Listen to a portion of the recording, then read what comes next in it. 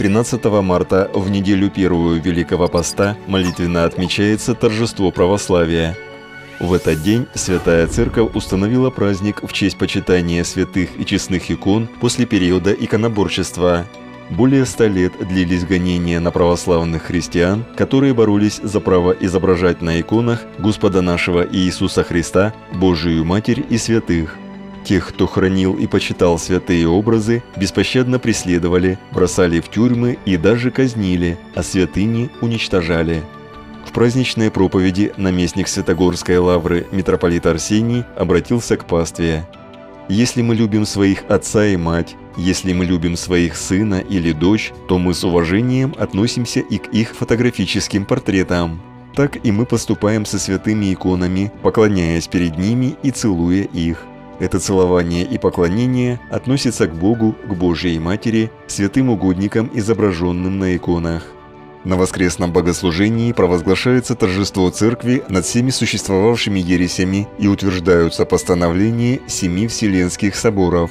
По окончании литургии в обители совершается молебное пение недели православия, на котором возглашается вечная память подвижникам благочестия. Анафеме же предаются люди, совершившие тяжкие прегрешения перед церковью.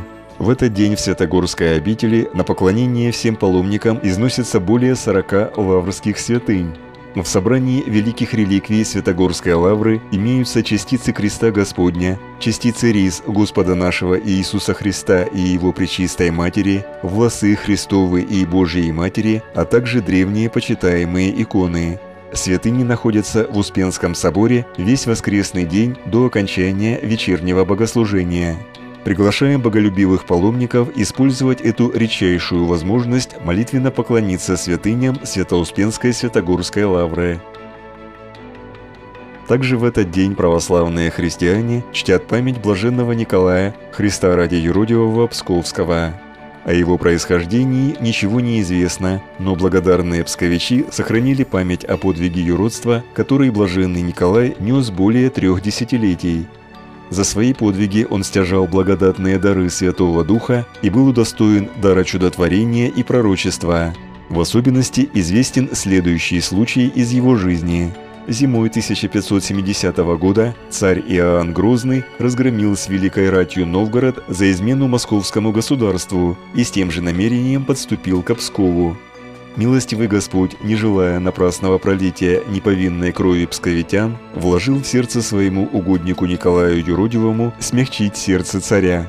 После молебна Блаженный пригласил правителя к себе – в чисто убранной келье на лавке была разослана скатерть, а на ней лежал кусок сырого мяса.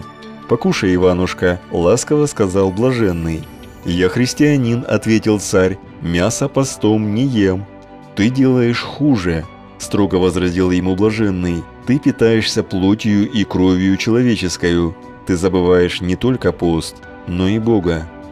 Злоба опять закипела в душе царя. Он приказал начать грабеж – «Оставь нас, прохожий человек», – строгим голосом сказал тогда блаженный. «Ступай скорее от нас. Если еще помедлишь, то не на чем будет тебе бежать отсюда». Но царь уже не слушал, и на соборной колокольне снимали лучший колокол. И в это же самое время поспешно вошел опричник и доложил, что любимый царский конь пал. Только тогда царь опомнился. Он приказал немедленно прекратить грабеж и выступить из города. Блаженный Николай отошел к Господу 13 марта 1576 года.